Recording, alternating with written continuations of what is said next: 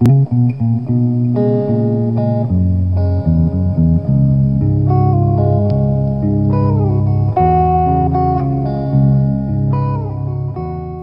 everybody, so here we are with my Canvas Riggers bag from Harbor Freight.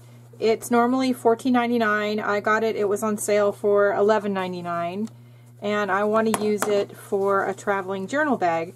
But it is very plain and I want to jazz it up with some paint. Now this is not my original idea.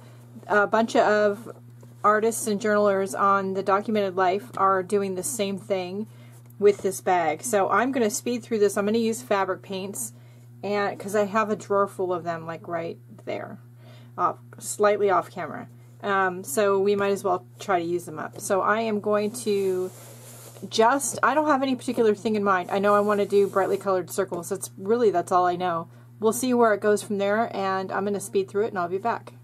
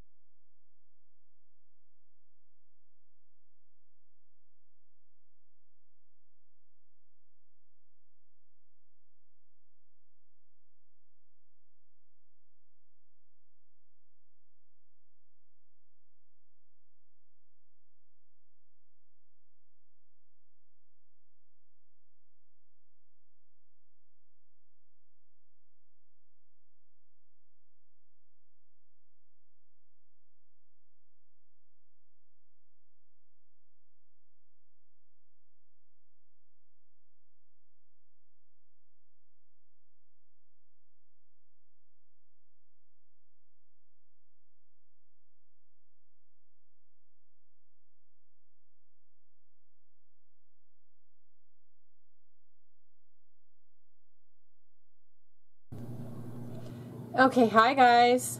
So I, it is still totally wet, but I did this one side of my bag, cuteness, right?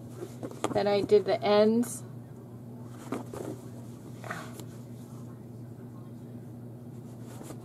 It's totally very wet. I'm going to let it dry. I don't know if I'm going to do any more painting to it. I kind of am liking the way it looks. I may, I don't know yet. So I'm going to let this dry and thoroughly and we will be back and we'll take a second look at it and see if we want to add anything else, all right? I'll be back. Oh my gosh, people, this bag project was so much fun. Thank you to the ladies on the Documented Life project who gave me the idea. Thank you, thank you, thank you. I had so much fun with it. I may go back to Harbor Freight today and get a couple more bags and paint them for some friends. I think they'd make great gifts. It was just such a fun project. Now as you can see, um, after it was mostly dry yesterday, it wasn't completely dry, but it was mostly dry, I went back and added these white fabric paint dots. I did the whole thing with fabric paint. Let me zoom in a little bit for you guys. There you go. So I did the whole thing, the whole bag with fabric paint, and I went in and put little fabric paint dots and then just smudged them with my finger. And I did it in random places, and that just gave it a nice little pop. I decorated both big sides. Let me go back out for you. There we go. Both big sides of the bag and also the short ends. And I love, love, love the way it turned out. It is great. And it's a nice big bag that's going to just hold everything that I want it to. I'm going to put my travel art journal stuff in here. It's just great. I like the bag that my travel art journal stuff is in, but I think I like this one better. so see what you can do about making your own bag. If you don't, don't have a Harbor Freight tools and hardware supply store near you, Go to your hardware store or home improvement store that you do have. This is a can called a Canvas Riggers bag. It's basically a plain canvas tool bag. So go into the hardware store and see what kind of fabric tool bags they have and if they have one that's like this.